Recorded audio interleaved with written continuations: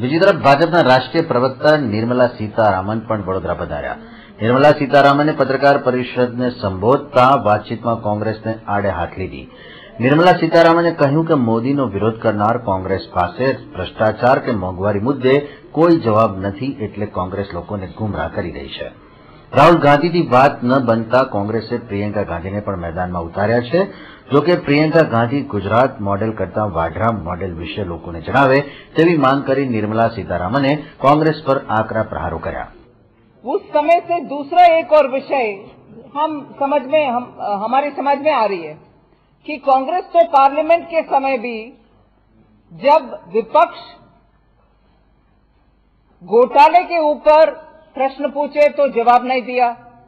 महँगाई कम करने वाले विषय में भी एक sense of the house resolution पारित होने के बावजूद भी उसमें कुछ भी कदम नहीं उठाया महँगाई कम करने के लिए। वो एक विषय है। तीसरी, नेतृत्व कमी के कारण हमारे सीमाओं में इतनी सारे गड़बड़ हुई और इतने सारे पाकिस्तान के खिलाफ या तो चाइना के मामले में घुसपैठ होना या तो स्टेपल्ड वीज़ा देना या हमारे सोल्जर्स के कत्ले आम करना, सर काटना, इतने होने के बावजूद भी सरकार से छुपी साधना। ये सब विषयों के ऊपर प्रश्न लगातार पार्लियामेंट में उठाने के बावजूद भी जवाब नहीं है। ठीक है, कम से कम चुनाव के घोषणा होने के बाद हम मानेंगे कि जनता के सामने आकर के उनके रैलियों के समय कम से कम इन विषयों के ऊपर जवाब देंगे कांग्रेस। चुनाव के मैदान में भी इन सभी विषयों को छोड़ करके आप देख रहे हैं, पहले से कांग्रेस का रणनीति क्या है ये समझ में नहीं आया। संदेश कुछ नहीं है चुनाव के माहौल में। कंफ्यूजन पैदा कर रहे हैं कि पहले ये बोले बोल रहे थे कि गुजरात के सीमित है, इनके नेतृत्व पूरे देश में उनको एक्सेप्ट नहीं करेंगे। बाद में विपक्ष के विषय के ऊपर ही उनका विषय रहा, मगर उनके तरफ़ से क्या करने वाले हैं? कुछ स्पष्टता से बोले?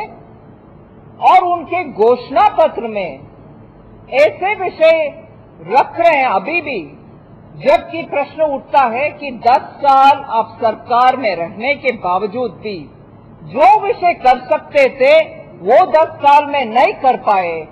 और अभी नया जैसे, वो विपक्ष में बैठे हैं, अभी सत्ता में आने के बाद हम ये करेंगे, वो करेंगे, ऐसे उम्मीद अभी आपके मैनिफेस्टो में जताना, इससे क्या स्पष्ट होती है कि 10 साल आप क्या कर रहे थे?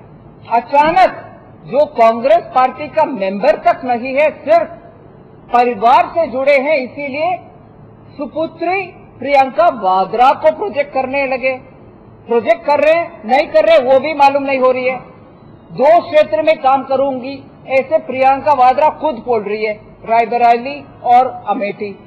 मगर देश के आज चर्चा में क्या प्रियंका आ रही है, प्रियंका नहीं आ रही है, इसके ऊपर डाइवर्शन हो रही है टैक्टिक डाइवर्शन किससे हो रही है टैक्टिक जो प्रश्न अब तक